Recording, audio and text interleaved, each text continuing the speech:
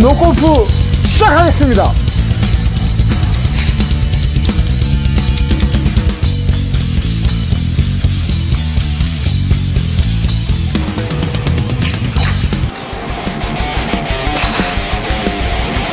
아, 어떡하지? 우리 아들은 아닐 수 있는데.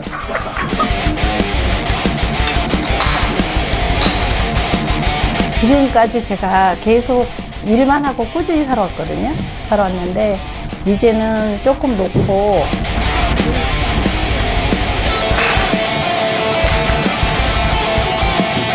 아들, 엄마가 너무 살아가는 거 알지?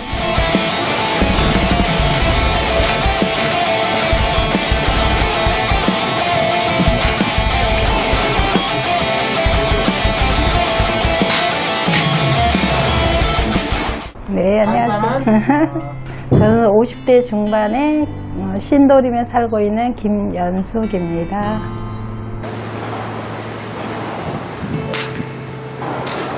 저는 어떤 사람이냐? 열심히 살았고, 진실한 사람, 된장 같은 사람.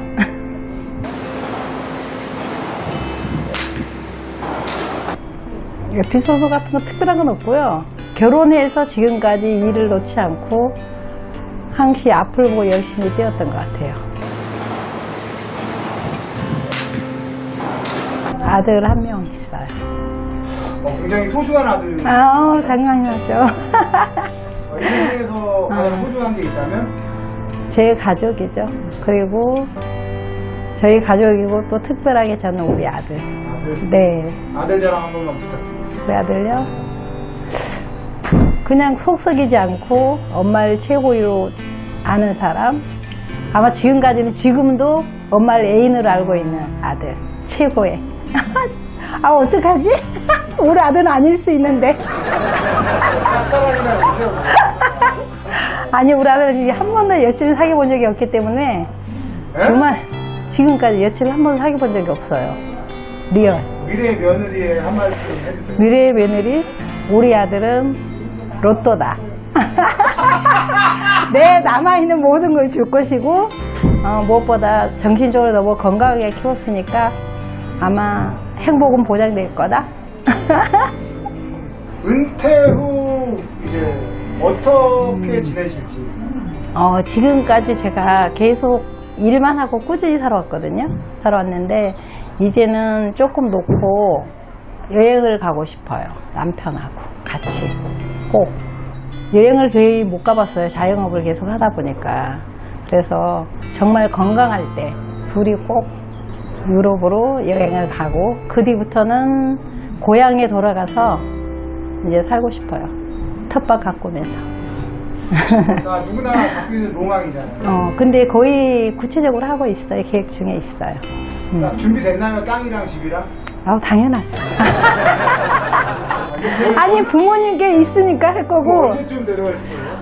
어, 빠르면 2년? 더 빠르면 더 당겨줄 수도 있는데 아마 거의 그렇게 생각하고 있어요.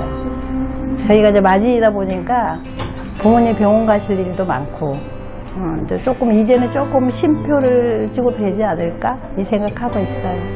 너무 이른가요? 재테크가 제대로 되신 분이에요. 아, 재테크 제대로 된 것보다 조금 내려놓는 법을 배운 것 같아요. 살면서 어떤 계기가 있어서 어, 이제는 그래야 되겠다.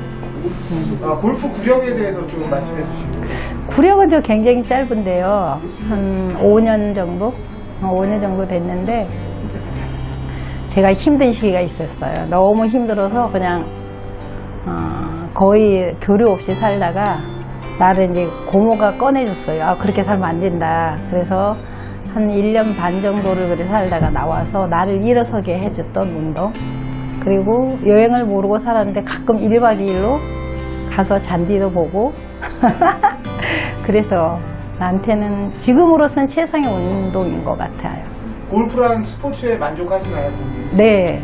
그러니까 잘해서 그런 것보다 밖에 나갈 수 있는 기회가 있고 그 파란 잔디를 보면서 막혀 있는 가슴이 뚫려 있는 느낌? 음, 그래서 이게 되게 좋았어요. 그러면 골프를 이제 처음 시작하는 아마추어 분들 네. 후배들 인생의 후배들에게 뭐 좋은 아닌 좋은 한 말씀 제가 구력이 얼마 안 돼가지고요. 조언이라고 그런 건 말하기 좀 그런데 지금은 대중적이잖아요. 운동 자체가. 그래서 그러기도 하고 저하고 같은 생각이라면 밖에 가서 자연과 접하면서 할 수 있는 최상의 운동이 아닐까 이 생각을 해요.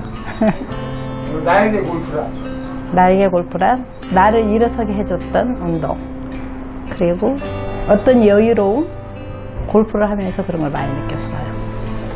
본인의 장래 희망 장래 희망? 희망이 있다면 가장 중요한 건 우리 아들이 예쁜 가정, 엄마 같은 그런 가정을 꾸리면서 살아가는 거.